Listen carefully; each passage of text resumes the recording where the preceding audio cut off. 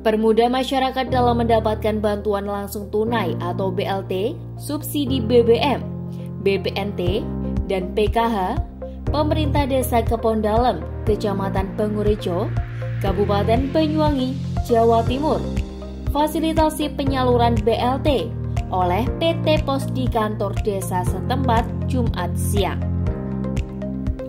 Dalam memfasilitasi penyaluran, pemerintah desa hanya memberikan tempat menjamin keamanan dan ketertiban serta memberikan undangan dari PT Pos kepada masing-masing warga penerima.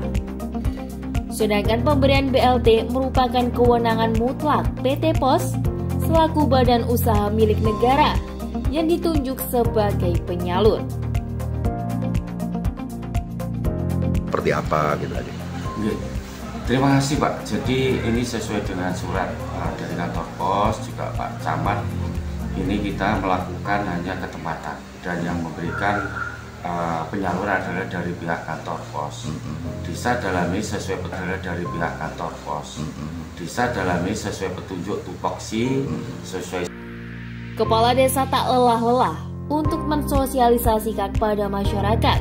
Seyogianya, bantuan langsung tunai yang diterima dapat dimanfaatkan sesuai dengan apa yang diharapkan oleh pemerintah pusat melalui Kementerian Sosial Republik Indonesia. Sehingga bantuan tersebut dapat membantu kebutuhan warga desa Kebon Dalem, khususnya dalam memenuhi kebutuhan pangan 3 hingga 4 bulan ke depan.